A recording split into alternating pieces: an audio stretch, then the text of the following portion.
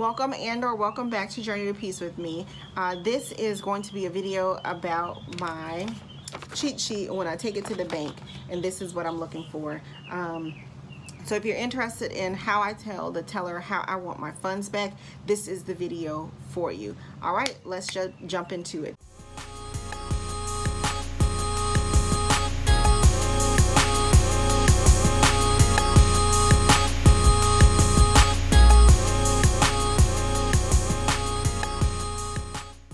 All right, so for this, I know I'm gonna have to zoom in later and hopefully this works because I'm gonna have to do it in editing. I can't figure out how to set up my camera where you guys can see it.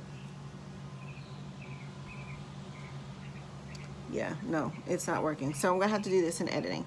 All right, so when I go to the bank, I give them this entire sheet of paper and this tells them everything that I'm looking for. All right, so I have my account and my account is listed as personal and then this 928 here is the total that I am taking out of the bank.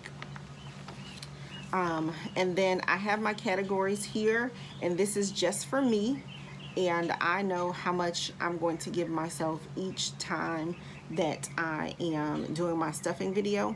But this section here, this is the section where I'm telling the cashier or the teller exactly what I need, how I want it, and what they should be giving me back. So I'm going to do this very quickly because it's it's pretty simple and I don't want to keep you here too long, you know? All right, so in the middle here, these are the denominations. So I have a 150, 20, 10, 5, and $1. Those are the denominations. In the boxes here, so this is what I tell the teller. This is easiest thing to do.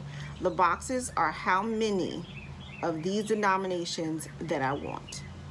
And then we get over here and these are the total. So I want four $100 bills and that means the teller should be giving me a total of $400 there. I want four $50 bills and that's going to equal $200. Eight $20 bills and that's going to equal 160. 10 $10 bills for $100, 10 $5 bills for $50, 18 ones, and that's $18.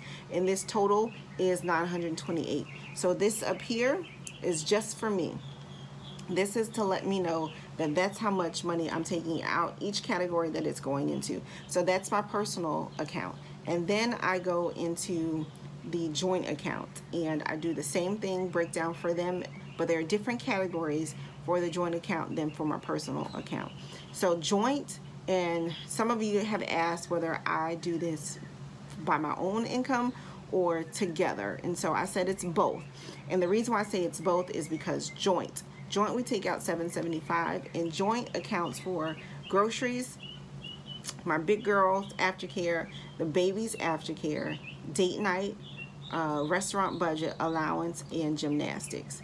So here we're to do the same thing. I have the denominations there, the amount that I want, and then the total. So for the joint, I get four $100 bills, which totals $400, three 50s for 150, seven 20s for 140, three 10s for 30, eight fives for 40, and 15 ones for $15, and that totals 775.